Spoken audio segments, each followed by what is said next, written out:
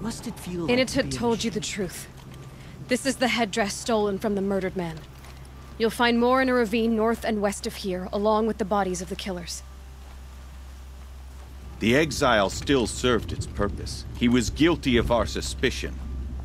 Fate has fallen like snow, and should Initut return, he will be absolved. You can't be serious. He speaks for the Werak, my Nora friend. You look ridiculous. If you would return to my Werak, you will behave as a Banuk does. How does a Banuk behave, my chieftain? Like I did? Accepting a sentence for a crime he did not commit. Or those others who killed in cold blood for crimes that their of victims did not. I think what I wear will not make me more or less of a Banuk.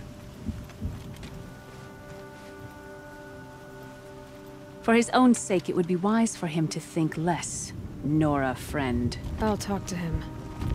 But not for you.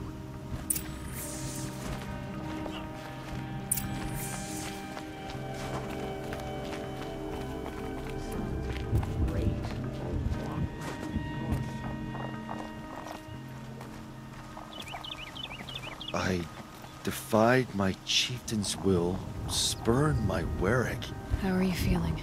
As if I'd been pounded the guts. I could just keep walking, but when my anger has thawed, it will leave me with nothing. Where else would I go?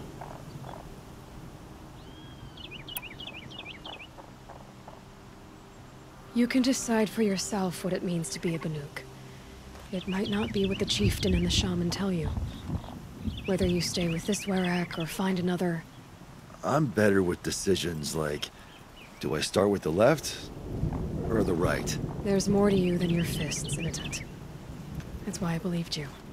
It was my chieftain who taught me honesty.